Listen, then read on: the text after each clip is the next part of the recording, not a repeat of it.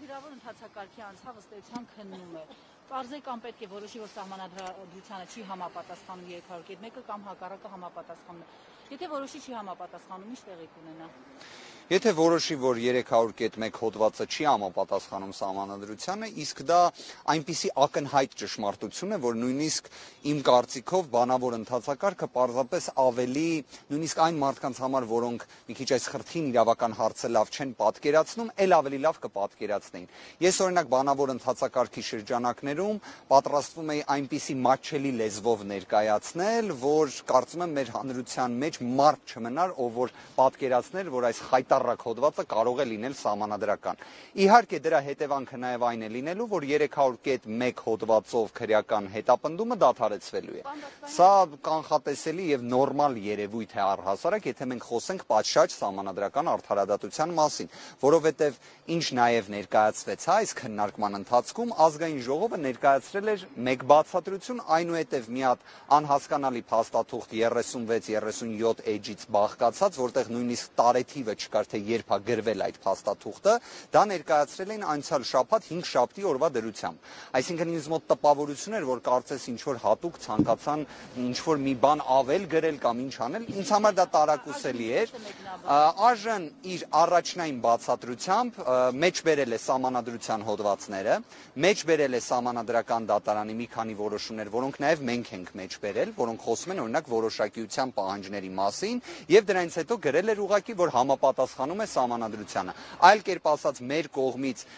ընդհանուր առմամբ 100 էջից ավելի դիմումի վերաբերյալ ներկայացրել էր 10 թերթից բաղկացած փաստաթուղթ, որով կարելի ասել առհասարակ չէր անդրադարձել մեր հիմնական բարձրացրած խնդիրներին, դրանով իսկ իրավական պրակտիկան դա նորություն չի, ստացվում է, որ ընդունել էր մեր կողմից ներկայացրած հիմնավորումները։ Պարզապես իր եզրակացության մեջ էր այլ հանգամանք նշել, բայց տեսեք, եզրակացությունը հիմնավորումներին չանդրադառնալով նշանակում է, որ դու ընդունել ես այդ հիմնավորումները։ Ենթադրում եմ, որ դրա վերաբերյալ մեր դիրքորոշումը գրավոր երբ ուսումնասիրել էր ազգային ժողովը, այդպես հրատապ հապճեպ կերպով փորձել էր ցույց տալ, որ այդ հիմնավորումներին էլ է փորձում արձագանքել, եւ դա արել էր 5 շաբթի օր, այսինքն պատկերացրեք, նիստը այսօր 3 շաբթի օրն է, 5 շաբթի օրը ազգային ժողովը թուղթ է ներկայացնում։ Դա իհարկե խնդիր չէր, որտեվ ուրբաթ օրը 30 էջից ավելի էջով ես էլ արձագանքեցի ազգային ժողովի այդ բացատրություններին հատ-հատ հերքելով դրանցից եւ ոչ մեկի տրամաբանությունը առասարակ իրավաբանության հետ որովհետև այդպես մեկուսի առանձին կոնտեքստից կտրված մտքեր արտահայտելը դա օգուտ չի տալիս առասարակ քննությանը բայց ինչն էր ինձ համար օրինակ գովելի որ ազգային ժողովը այդ 30 էջից ավել փաստաթղթով հղում էր տվել օրինակ 2009 թվականի ազգային ժողովի սղագրություններին որտեղ Դավիթ Հարությունյանը մանրամասն ներկայացնում էր թե ինչ աստիճանի հակասահմանադրական է նախկին 300-րդ հոդվածը եւ ինչ աստիճանի խնդիրներ ունի որոշակիության 300.1-րդ հոդվածը դա օրինակ ողջունում էի որ ազգային ժողովի սղագրություններին հղում էին տվել, որտեղ դուք հիշում եք, օրինակ դատախազությունը, այլ պաշտոնյաներ առասարակ անտեսում էին ազգային ժողովի սղագրությունները։ Բայց կներեք, Ես մեկ հանգամանք էլ ասեմ հիմա եւ անդրադառնամ բանավոր գրավոր ընթացակարգերի առանձնահատկություններին։ Երեք երեկոյան այս իշխանությունների հետ ուղակիորեն փոխկապակցված, նաև հենց համանadrական դատարանում դատավորի պաշտոն զբաղեցնող անձի հետ ուղակի փոխկապակցված անձ Տիգրան Եգորյանը ես նման բան երևի թե երբեք չեմ տեսել, բայց նման կերպ ուղակի ճնշել սահմանադրական դատարանին ասել որ տեսեք հանգարց չդադարեցնեք միadnենց որոշում չկայացնեք որ դադարեցվի քրեական հետապնդումը մատը կարելի ասել թափ տալ սահմանադրական դատարանի վրա դա զարմանալի է ուղակի եւ կներեք նույնիսկ զարհուրելի է որովհետև ես ինքս լինելով փաստաբան վերջինս եւս փաստաբան է հանդիսանում։ Դուք նման գործողություն իմ կողմից երբևէ տեսել եք։ Եվ նորից եմ ուզում ընդգծել, խոսքը գնում է կոնկրետ 1 օր առաջ համանadrական դատարանում գործը քննելու պայմաններում Վահե Գրիգորյանի հետ, ով որ եւս համանadrական դատարանի դատավոր է, ուղակի փոխկապակցված անձ է։ Ու այս պայմաններում հենց այդ է խնդիրը, որ բողոքի քննությանը չի մասնակցում, բայց առնվազն պատկերացում բոլորս ունենք դեռևս 2019 թվականին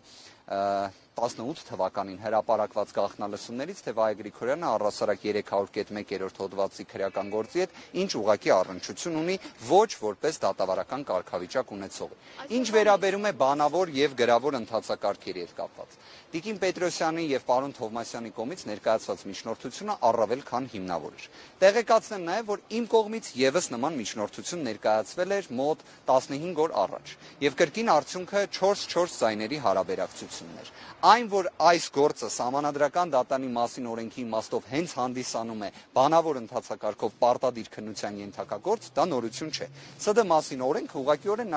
նախատեսում է թե որ գործերով է բանավոր ընթացակարգով քննվում։ Հանրային հնչեղություն ունեցող գործերով այս գործը հանրային հնչեղություն չունի, կարծում եմ բոլորի համար դա պարզ է։ Այն որ բանավոր ընդհանցակարգը հնարավորություն կընձեռեր ավելի մանրամասն հասանելի դարձնելու այս ամբողջ քննարկումները, դա եւս փաստ է։ Ցավում եմ, որ այդպես չեղավ, ինձ համար առնվազն պարզ չէր այն հիմնավորումը, որ ենթադրենք սա իրավական հարց է, դե եկեք գրավոր ընդհանցակարգով քննենք, իսկ ինչի կներեք կൂട്ടակային կենսաթոշակների մասին օրենքի հարցը 2014 թվականին, որ բանավոր ընդհանցակարգով քննվեց, դա իրավական հարց չէր եւ իդեպ բանավոր ընթացակարգով քննվեց բանավոր ընթացակարգի ընթացքում հանգամանքներ հնչեցին որոնք տեղ գտան համանadrական դատարանի որոշման մեջ այս պայմաններում չանցնել բանավոր ընթացակարգի ինձ համար անհասկանալի էր։ Հիմնավորումները շատ հստակ են։ Տիկին Պետրոսյանը նաև վկայակոչեց մի դեպք, երբ նույնիսկ գրավոր ընթացակարգի շրջանակներում կողմերից մեկին նույնիսկ հարց էր տրվել գրավոր ընթացակարգի պայմաններում եւ կողմերից մեկն պատասխանել էր։ Ես կարող եմ ասել, որ այդ նիստին ինքս ներկա էի որպես ՍԴ նախագահի խորհրդական Գայք Հարությունյանի այն ժամանակ եւ գործը վերաբերում էր կրկին կൂട്ടակային կենսաթոշակային համակարգի մասին օրենքին, բայց 2015 թվականի սահմանադրական դատանի որոշմանը։ Նույնիսկ կարող եմ ասել դատավորներից Կին Բալայաններ, որ ազգային ժողովի ներկայացուցիչին հարց տվեց գրավոր ընթացակարգի պայմաններում, եւ դա որևէ արտառոց նշանակություն չուներ։ Ես օրինակ կարծում եմ, որ կարելի էր նաեւ հնարավորություն ընձեռել օրինակ այս քննարկման ֆորմատում նաեւ ինձ դիրքորոշում արտահայտելու։ Դա չեղավ։ Կարող եմ նաեւ արձանագրել, որ առնվազն ինձ համար տարակուսելի էր, թե ինչի սահմանադրական դատարանի դատավոր պարոն Դիլանյանը հենց նման միջնորդություն ներկայացվեց, առաջարկեց գնալ ընդմիջման ինչ ընդմիջման հարգելիներս այսինքն սա նաև որոշակիորեն ազդակ կարծես լիներ այլ դատավորների համար բայց ինչի ինչի նման գործողություն անել ես իհարկե առնվազն կարևորում եմ որ վերջում այդ նախաձեռնությունը առաջարկությունից հրաժարվեց պարոն Դիլանյանը բայց ես առնվազն շատ ու շատ իր հետևում էի համանadrական դատարանի դատավորների արձագանքին ես եւս որոշակի տարակուսանք զգացի որտեղ տենց բան ասել, այսինքն կարևոր միջնորդություն է ներկայացում, անմիջապես առաջարկ է արվում, եկեք մի հատ հələ գնանք ընդմիջման տենանք անհասկանալի է։ Տպավորություններ այսօրվա այս քննարկումից մեկ կամ քննարկում է գրավոր կամ բանավոր ընթացակարգին անցնելու հարցը, դրան զուգահեռնել շատ իրավաբաններ զարմանում էին, որ սահմանադրական դատարանը մեկ ժամվա ընթացքում չի կարողանում կողմնորոշվել այդ հարցին կողմ դեմ քվեարկելու վերաբերյալ։ Զարմանալու տեսանկյունից զարմանալու բան չեմ տեսնում։ Սահմանադրական դատարանում ցանկացած հարց իրականում երկար քննարկվող հարց է եւ դա նորմալ է այլ հարց է որ ի վերջո հակափաստարկներ բանավոր ընթացակարգի չանցնելու մասով ես չլսեցի եւ ես իրականում եմ ասում կարծում եմ թե հանրությանը հետարքիր կլիներ բանավոր ընթացակարգը թե առհասարակ նաեւ գործի հանգամանքների տեսանկյունից շատ օգտակար կլիներ առնվազն որևէ բացասական նշանակություն գրավորից բանավոր անցնելը չէր կարող ունենալ հակապաստարկներից մեկ այն էր, որ դատավորի դիմումի հիման վրա գրավոր ընթացակարգով պետք է գործը քննվի։ Այս մասով ձեր դիրքը Իսկ ոչ մեկ չէր էլ ասում, որ դատավորի դիմումի մասով պետք է բանավոր ընթացակարգով լիներ։ Խոսքը գնում է Ռոբերտ Քոչարյանի դիմումի հիման վրա,